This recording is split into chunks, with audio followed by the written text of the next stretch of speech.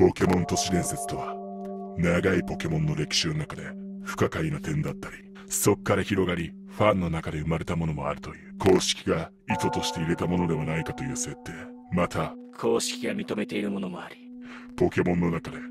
最も謎に包まれたもの。レシラムとゼクロムは元は一つのポケモンだった。皆さん一種神話って知っていますか？ポケットモンスターブラックホワイトで登場する神話です。その中で登場するのがレシラムとゼクロム。そして双子の英雄です。神話の内容について簡単にご説明します。昔双子の英雄ととある一体のポケモンにより一種地方は建国されました。最初は仲が良かった2人ですがその後仲違いをし争いを始めました。その時にその1体のポケモンは2体のポケモンレシラムとゼクロムになりました。2体はそれぞれ兄と弟側につきます。真実を求める兄にはレシラムが理想を求める弟にはゼクロムがつきました。やがて争いを続けるうちにその兄弟は真実と理想どちらか一方が正しいわけではないことに気づき争いをやめました。しかしその兄弟の子孫たちが再び争いを始めたことによりレシラムとゼクロムが怒り狂いイッシュ地方を焼け野原にしてしまいました。その後レシラムはライトストーンにゼクロムはダークストーンとなり眠りにつき新たな英雄の誕生を待ってるとされています。そして一体が分裂しレシラムとゼクロムになった後の抜け殻とされているのが虚無を司るポケモンキュレムです。キュレムは失った体と真実と理想を埋めてくれる英雄を待つと言われています。とこのようなレシラムとゼクロムとキュレムは元は一体のポケモンだったわけですがその元のポケモンとは一体どんなポケモンだったのでしょうか？こっから考察なんですがまず見た目的には遺伝子のくさびを使ってゼクロムとキュレムが融合したブラックキュレムレシラムとキュレムが融合したホワイトキュレムを合わせたような見た目ではないかと考察できます。ポケモンのタイプはドラゴンは確定ですがレシラムが炎ゼクロムは電気なのでもしかしたら今はない。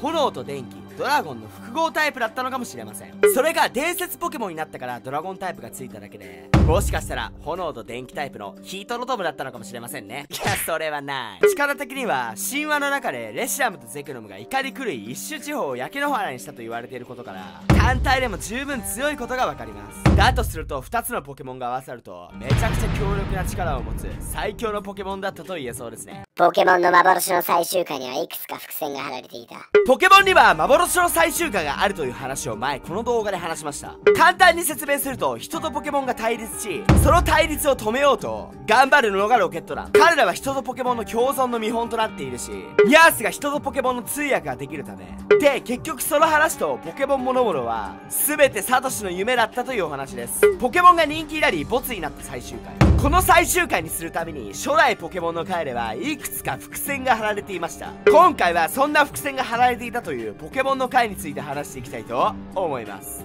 まずはこの回初代無印編第38話。ディグラがいっぱいです。旅を続けるサトシ一行はディグラやダグトリオの妨害に悩まされている。ダムの工事現場に巡り着きます。ダムの責任者はシゲルをはじめ優秀なポケモントレーナーを集めてディグラたちの駆除に乗り出しますがどういうわけかシゲルたちやサトシのポケモンはディグラたちと戦おうとしません。ダムができれば野生のポケモンたちの住処が奪われるわけで。ポケモンたちはそれを知っているからこそ戦おうとしなかったのです。ダムの責任者もそれに気づかされダム開発を中止しました。この回では人間 VS ポケモンという話が描かれていました。次はこの回無印編第72話ニャースのアイウェオロケット団のニャースが昔ノラニャースだった頃のお話です。ある時ニャースが女優に飼われているニャースマドンニャに恋をします。マドンニャの気を引こうと二足歩行で歩けるようにしたり人間の言葉を話せるようになり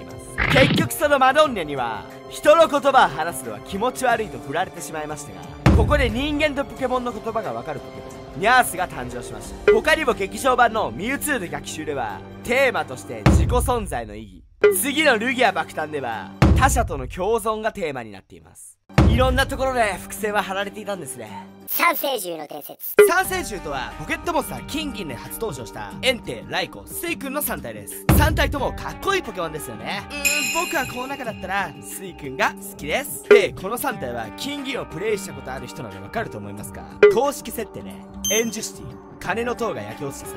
名もなき3体のポケモンが巻き込まれ亡くなったとされる。がそれを見て悲しんだ鳳凰が新たな命を与えた姿がこの3体という伝説が語られています。巻き込まれたポケモンたちを悲しみ王が新たな命を与えたってすごくかっこいいですよね。そんなエンテライコスイクの3体は先ほど話したように亡くなる前のポケモンが名もなきポケモンとなっているんですが実はその亡くなる前のポケモンはブイスのポケモン3体だったのではないかという都市伝説があります。ブースというのはいい意味の進化系のことですが3体とはブースターシャワーズサンダースです。そう言われている理由としてはまずタイプが共通していること。三星獣とブイズって3体のタイプが完全に一致しています。また種族値に関してもブイズの上位互換が三星獣のような数値になっています。例えばサンダースとライコンの種族値を見ていくんですがこちらですね。素早さ以外基本的にサンダースの上位互換といった数字になっています。素早さも体が大きくなったと考えればその分重くなって鈍くなるイコール数字が下がるのも普通に感じます。シャワーズとスイ君もどちらとも特も HP に優れてたりブースターとエンテイも攻撃に優れてたり共通する部分が多いです。そして決定づけるもう一つの理由。それはエンジシティで戦うトレーナーマイコハンの使うポケモンが全員。ビームの進化先だということ。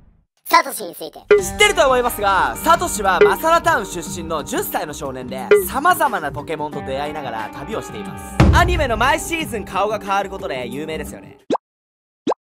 うん XY の後それはサーのムアニメ見なくなる。とまあ余談はさておき本題なんですがどうしてポケモンの生みの親がサトシであるか。それはサトシという名前がポケモンを作った田尻サトシさんから取った名前だからです。田尻聡さんはポケモンの生みの親で株式会社ゲームフリークの代表取締役社長です。主人公に自分の名前を付けるとはなんだか愛着が湧きそうですね。また海外ではサトシはアッシュと呼ばれているそうですがフルネームはアッシュケチャム。アッシュはサトシのスペル A と S と H を抜き出してアッシュです。かっこいい！ハルカットだとハルカット。ハートですかね。知らんけど。ポケモンの人物についてもう一つアニメサトシのライバルとして登場するシゲルの名前はマリオの生みの親である宮本茂さんから取った名前だそうです。宮本さんのことを田尻さんは常に先を行っており決して追いつくことはないと話しており心から尊敬しているためライバルを茂と名付けたそうです。マスターボールが量産されない理由が衝撃的だった。マスターボルトは紫でピンクの丸いのが2つついてて真ん中には M と書かれているボールです。非売品でストーリーでは1個しか手に入らない貴重なボールです。性能としてはポケモンに投げると絶対に捕まえることができるボールでボールの中だと最強のボールと言えます確実に捕まえることができるボールだ俺。たくさんあったならどんな人も欲しいと思うんですが。なぜ貴重なボールになっているのでしょうか？それはマスターボールが必ず捕まえることができるボールであることが理由でした。まずはロケット弾などの悪役が悪用する可能性があります。また他のボールの価値がゼロになる可能性もありますね。あとは必ず捕まえられるとするなら大量捕獲が増えポケモンの生態系を壊してしまう可能性があります。だからマスターボールはあえて量産しないのです貴重だからこそ価値があるボールなんですね。とはこんな感じでタルカット都市伝説総集編でした。昔の録音も編集も下手くそ。ちょっとでもこのましたらちゃんと録音すしご用だよろしくお願いします。では次の動画でせーのグッティー